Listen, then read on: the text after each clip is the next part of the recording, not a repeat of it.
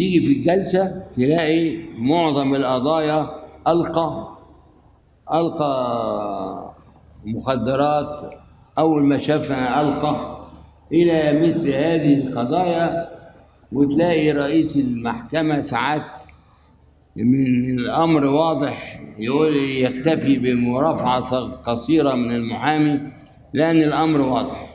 يتوقف على الاستيقاف من هو ليس قبضا. وبالتالي ما إذا مهارة المحامي أن يثبت للمحكمة أنه قبض وأنه ليس مجرد استيقافا ليس مجرد استيقاف وأنه كان قبضا باطلا. وبالتالي ما تم من من إلقاء كان ثمرة قبض باطل أو أنه كان أمرا مصطنعا فهو لم يلقي ولا أي شيء. وأذكر أن محاميا محامي ده شاطر كان عنده عدة قضايا استيقاف بواسطة ضابط معين فاستطاع يجمع عدد قضايا ودخلهم في جلسة واحدة نفس أسلوب الضابط في تصوير قضايا الاستيقاف واحد. ما أن شاهدنا حتى ألقى بالوفافة وعلى بعد كذا متر فتتبعناها بنظرنا وجدناها فتحناها وجدنا فيها حشيش. العبارات واحدة. وأنا استمعت إلى المحامي الجدع ده وهو يقول العبارات واحدة. وكلها كلها براءة.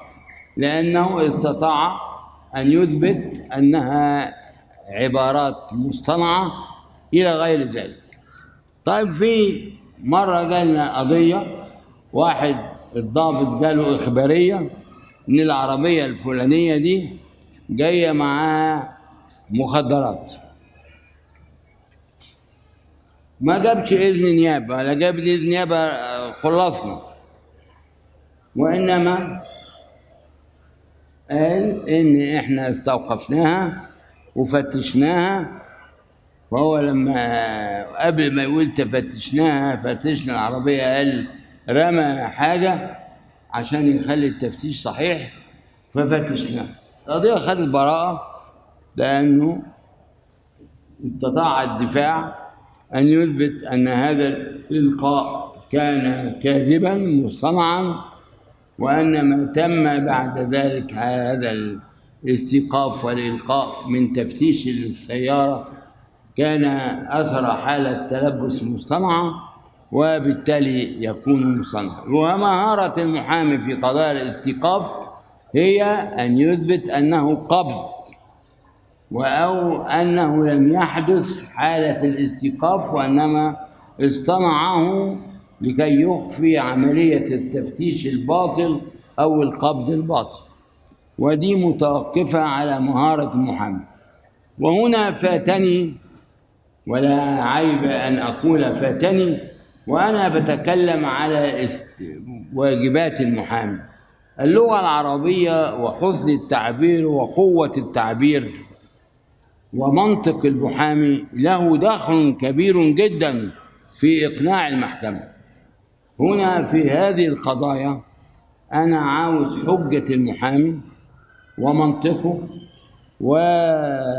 ومعرفته بعبارات محكمة النقد وهي عبارات مضيئة وقوية جدا في مثل هذه القضايا مثل خير العدالة أن يفلت مجرم من العقاب من أن تنتهك حريات الناس أو يقبض عليهم بدون وجه حق.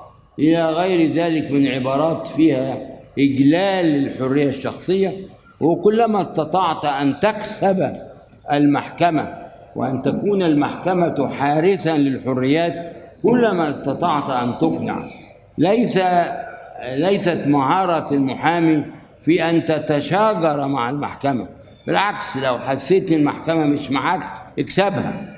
اكسبها بذوقك وبعباراتك و...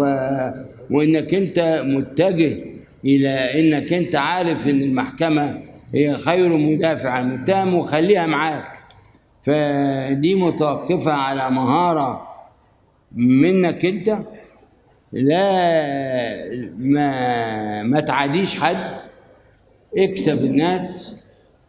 إكس خليه ثقة زي اللي ابنه سقط في الامتحان يضربه قلمين. لا أنت عشان ابنك سقط في الامتحان تقول له يا ابني أنا عارف إنك ذاكرت وتذاكر كويس.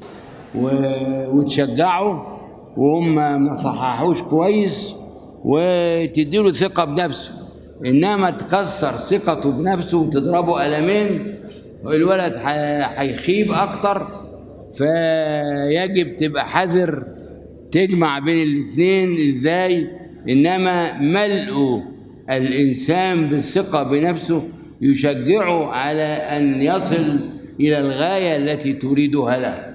مش إنك تتكسر في مقاديفه.